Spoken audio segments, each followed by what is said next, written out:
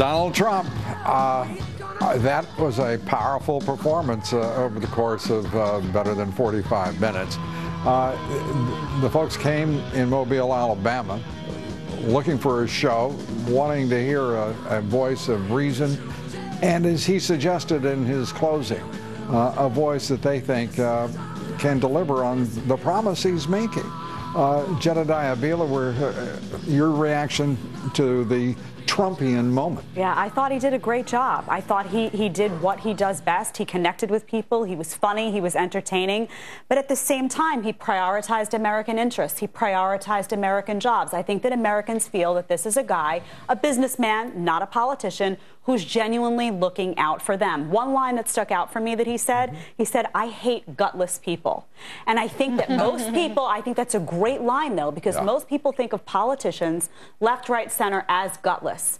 This is a guy who has who has guts. He, he says things that offend people sometimes. He says Look at things the House that of Representatives right now. Look at the approval numbers uh, in Congress that's, across the board. That, Disgraceful. That's the big thing that you hear from Trump supporters is we elected a Republican Congress. They told us things were going to change and they haven't. That is frequently, frequently cited by Trump supporters. And it's a frustration to your point that all of these candidates are talking about creating jobs, having a stronger military, um, you know, fixing immigration. But it's the messenger yes. is that it, it, it makes it so different. And this, talking uh, earlier with Ed Rollins, Ed, I mean, this is an analog to the Ross Perot oh, candidacy. Uh, and I, I find it impossible to believe that pundits were saying just a couple of months ago that this is a, a fiction, it, it is ethereal. I've, will... I've, always been amazed by pundits, including myself, who's been a pundit for about 50 years. People say, well, that person can't be elected. And I said, well, go walk by the Senate some There's about 80 people voting every day who couldn't get elected, and there's about uh, 400 people in the House of Representatives couldn't get elected. This guy could be elected. He is tapping into something in America that I haven't seen in 30, 40 years. Uh, he's a very powerful messenger, and here's his message. You don't like what's going on, take a chance on me take a chance on me. And I think a lot of there's not a person here tonight that's not going to walk out and be enthused. They're not going to go away. They don't care about. I mean, I can argue, can he get this stuff done with the Congress and what have you? Doesn't matter. He's he's a great salesman. He's selling America. He's selling himself, and that's a very powerful. We just did a little checking here because uh, Donald Trump referred uh, as he would. He's a marketer. Uh, he is a salesman. He is a showman, obviously. But he started talking about the art of the deal. He signed uh, the woman's uh, copy uh, uh, of the art of the deal book. That book came out, uh, let's see, what was it, 28 years ago, 1987. It is running right now. This is just a little pollster. He doesn't need pollsters. He's got Amazon in his book. His book is down the top 200 on Amazon for crying out loud. And this is a man starting to to move the public consciousness. And people bring his books to his events all the time. I mean, in New Hampshire, people were lining up to get to, to hand to hand them to him. You know, I mean, they've, they've been engaged. You referred earlier, Caitlin, to uh, to the intensity here. We are watching intensity in a stage of a primary presidential campaign where I don't remember intensity like this. It's palpable, it's More measurable. Than a year from an election as well, several months from a caucus. Yeah. Also, who can do that on the right? Tell me who, which of the candidates, we've seen them in the debate now, who can go out there and deliver a speech like that? He had no notes, be charismatic, be funny. Let me tell you, from what I'm seeing, none of them can. And you know who else can't do that? Hillary Clinton can't do that. She's terrible at this, and she knows it. So I think the public is craving someone who seems excited about the job and who isn't outsider who doesn't come from the Washington circle, who they feel they can count on to have some practical um, proposals. The intellectuals of America will not be for him. Uh, I always oh my goodness, we, I, I, hope we, I, I, we no, can't have that. And they're going to challenge him. And I'm always remind my friends in New York and California, where I grew up, there's about 210 million people live between the two coasts. Yes. Uh, he's going to be very popular among those folks. He's going to be very popular in elements of New York and California. Right. And my sense is he's got a momentum that's going to be hard to stop at this point in time. He may be stopped, he may stumble, but you're not going to basically beat him on misfacts or what have you at this point in time. Let's go to John Roberts uh, there in uh, uh in Ladd Peebles uh, Stadium. Uh, quite a show, John. Yeah, quite a show, Lou. Remind me next time to bring my earphones so I can hear you. I'll tell you, here's, here's the thing that Trump has got going for him. He doesn't sugarcoat it. He doesn't say, oh, things are wonderful in the United States. He says things are bad, but I'm going to make it better. And whether it's the fact that he's been very successful in his own personal life or the reality show context, but people here, when they hear that, they actually believe it. We, I had women who were in their late 50s jumping up and down like they were seeing, you know, a, a teen rock band here tonight. He, he just has a way, Lou, of connecting with people that where they believe him. And he certainly didn't uh, didn't pull any punches against some of his opponents. He was really hammering Jeb Bush again tonight, saying that he's low energy. People fall asleep during his town halls. Can you imagine what would happen if he were president of this country negotiating deals? Trump's big strength here tonight was he has negotiated a lot of deals. And whether or not he could negotiate one with China or Japan or, or, or Russia or whomever, it remains to be seen because he hasn't negotiated any of those type of political deals. But he has people believing that he could do it, he could do it well. And that's important political capital that money can't even buy, And, give us a sense, John, because uh, the, the shots that were taken tonight showed uh, uh, the crowds and the seats that were filled. Give us a sense of how many people were actually in the stadium tonight there with him. Well, if you take a look at that bleacher that's behind him, I did a rough count of sort of how many people sit in each row and how many rows there are. There were probably about 1,800 to 2,000 people who were behind him. And then you had similar crowds on, on the wings here, and you probably had another 1,000 people in the middle. So I would say a, probably a pretty liberal estimate of how many people were here tonight would have been between 8 and 10,000. Now, the Trump campaign had told us coming into this they had requests for more than 35,000 people for tickets. Lou, it was nowhere near that. But don't forget, they didn't say they were going to have 35,000 people. They said that's right. how many people said they wanted to come. And I understand the weather has been uh, dicey to say the to say the least. Uh, Trump referred to it there, and, and, no one seemed a bit worried about getting rained on or, or hit by lightning. I'll, I'll tell you, the, the, the guy has got horseshoes when it comes to the weather because thunderstorms were swirling all around all day today, and the one place that didn't get wet was Ladd Peebles Stadium. And it was interesting. Trump made a joke tonight. He's He's into the hair jokes tonight, Lou. He said, if it rains, who cares? I'll take off my hat, and then I'll prove once and for all, yes, it is mine. So yeah, and then as he was doing it, he took off his hat. Uh, we see Trump in a car. We were expecting uh, him to be talking with you and other reporters afterwards. At least that was the the plan. Uh, he will be. He's, he's just going to another part of the uh, the. Uh, but the interesting about, interesting about getting in the car, he gets yeah, the front seat of the car. my understanding is, unless things have changed,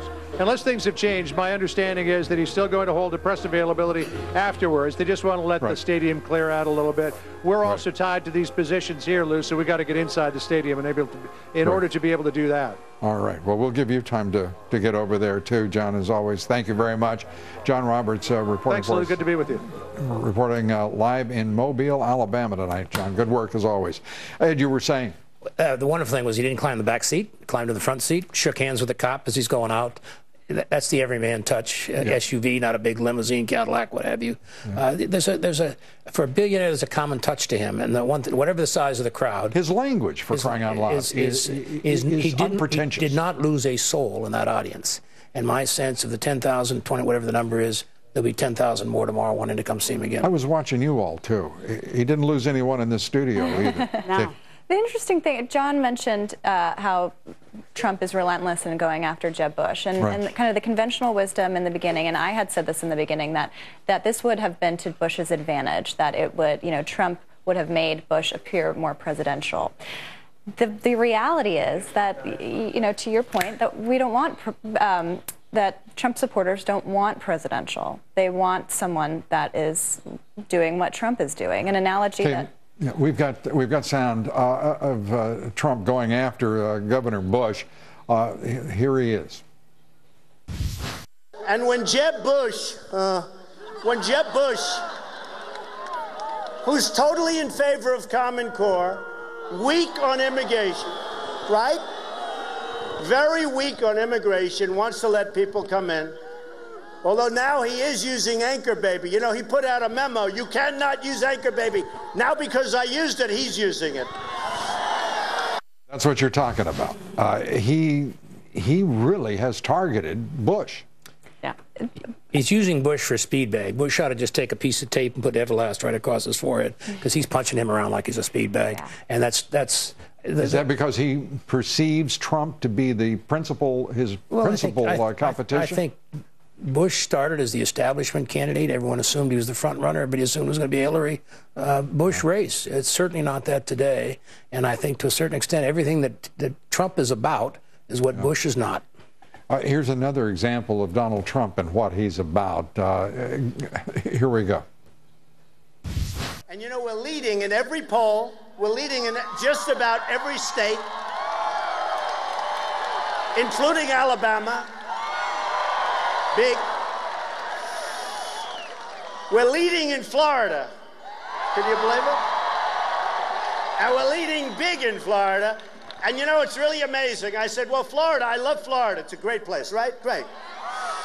But Florida, we have a governor and we have a sitting senator, and I'm killing them.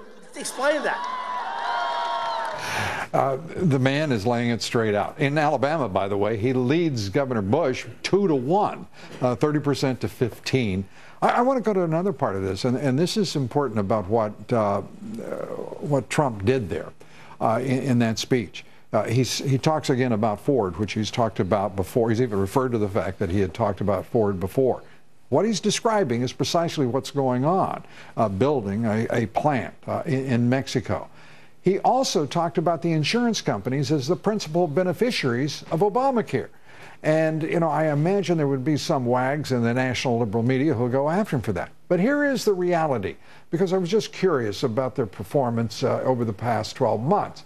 Uh, on a day in which we watched three quarters of a trillion dollars in market cap uh, vanish uh, on Wall Street, uh, United Health uh, Group dropped about 3%, and Aetna, 2.5%. But how have they done over the year? They're leading the market. They're up 46%. Aetna is up uh, uh, 38%, excuse me, over the course of the past year. Uh, United Health Group uh, up 38%, uh, 38 and 46% respectively. I, I, mean, that is extraordinary, Jedediah, that he can just, he touches on it and opens up the reality in front of us. I think he touched on a little bit of everything. He touched on immigration. He, he touched on all of these hot button issues, Obamacare. Of course, he went after Jeb Bush. Why not? What is Jeb Bush going to do about it? Jeb Bush has proven to not be so great mm-hmm. with comebacks, and I think he feels confident that he can go after him. And let's face it, Jeb Bush doesn't do Donald Trump style attacks well, so I think it's going to be a struggle for him to have a comeback.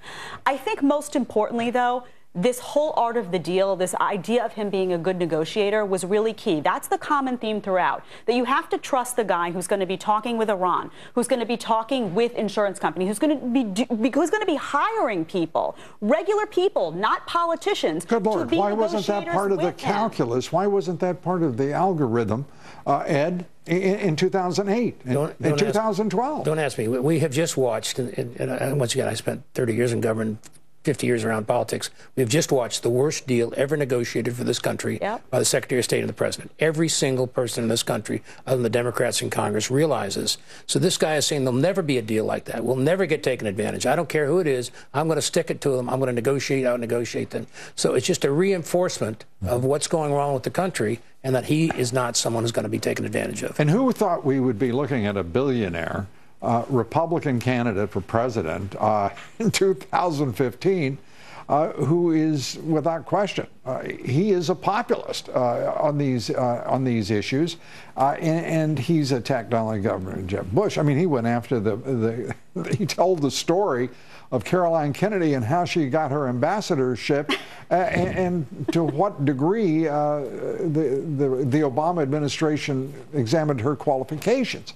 I, I mean, he is he is brutal in, in and this. relentless. Yeah, and there's also, also one, and it's great to watch. One other thing we missed that was very very telling to those who are deep believers, and in the South, the evangelical is very powerful. In Iowa, he talked about the Bible.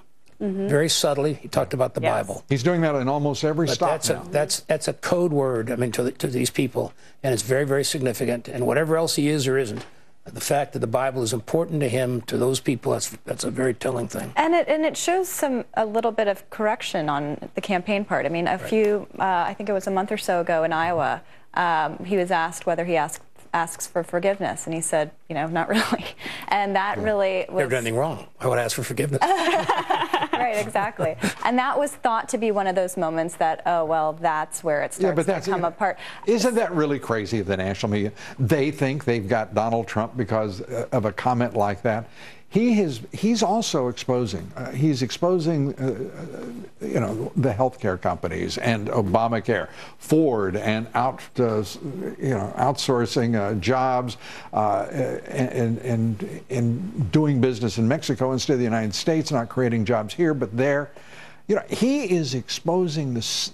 He says, "How stupid are we?" Yeah. And suddenly, you include in that the national media. And yeah. by the way, we get uh, we earn our place. Uh, the fact of the matter is, the national media ha has played gotcha for so long they think that they've got some sort yes. of superpower and can influence everything. The New York Times today ran an editorial in which they basically said. We give up. We can't use political correctness against Donald Trump. We cannot do hit pieces to any effect. Uh, that was a remarkable admission on the part of a, a, a, pillar of the national liberal media, don't you think? Absolutely. I mean, I think I think the reality here is this: this is a campaign, and I was a doubter. I mean, I you know I've been on the show. I was a doubter. Uh, what I've seen in two months uh, is is a, a, momentum that is building, and I saw it once before with Perot, but I said, as you said, Perot rolled over and played dead. This guy will never play dead. He's going to fight right to the bitter end, and he's tough. Yeah. Well, let's talk about Perot because that scares the hell out of the establishment uh, GOP, and I'm sure concerns uh, some Republicans, uh, uh you know, listening mm -hmm. to us, watching us here tonight that Trump will not buy into the I'm going to support any candidate that the Republican Party puts forward.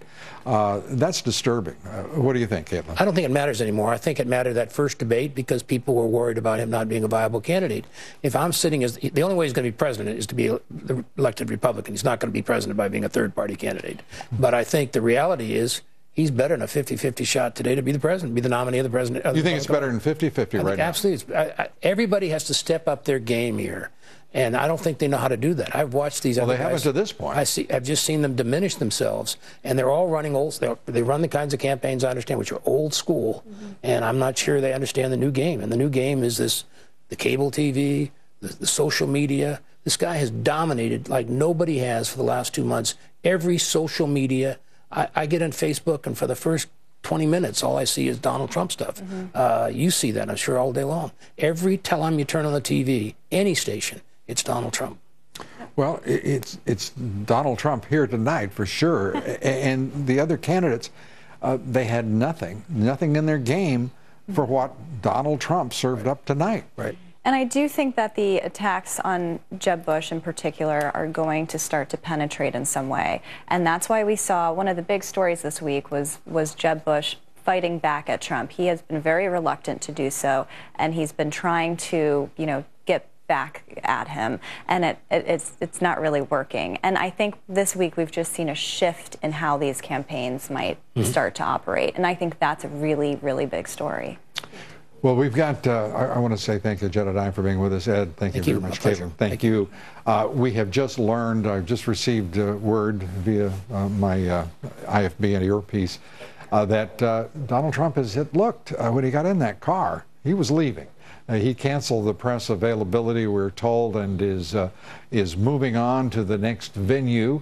Uh, so uh, mission accomplished for the uh, Trump side of this, and uh, I think increasingly this is a message that is starting to starting to resonate with some serious uh, impact on the Republican nomination process. Uh, again, uh, he went after Macy's, he went after Ambassador Caroline Kennedy, he went after Jeb Bush, he went after the insurance companies. Not bad work for one night. The uh, uh, the remarkable candidacy. It's something, uh, as Ed Ed Rollins said at the outset.